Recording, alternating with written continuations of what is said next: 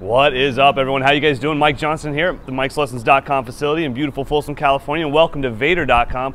I just figured, you know, we've been doing so many drum lessons on the drum set and everything's for the drum set and let's get outside and let's just do some warm-ups something that you could do maybe before a show just to loosen up and get you ready to be nice and loose on the gig so one of the simplest things you could do would be four 30 second notes followed by two 16th notes but we're going to change up the sticking so what we're going to do is start off with two sets of double strokes so right right left left then two single strokes right right left left right left then we're gonna do that twice in a row. Right, right, left, left, right, left, right, right, left, left, right, left. Then we're gonna do the exact same thing, exact same phrasing, but this time it'll be all singles. Right, left, right, left, right, left, right, left, right, left, right, left. So we're gonna be kind of balancing the sticking pattern while keeping the rhythm exactly the same.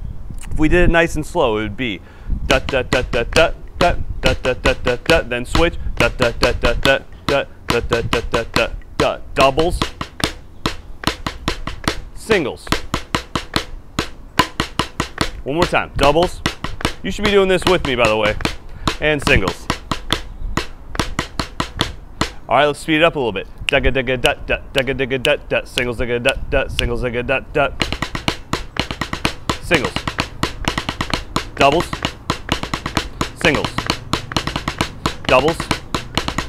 Singles. Doubles. Singles.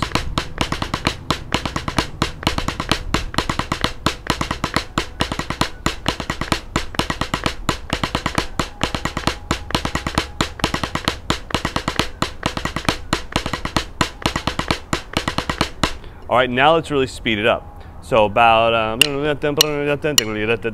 one, two, three, four.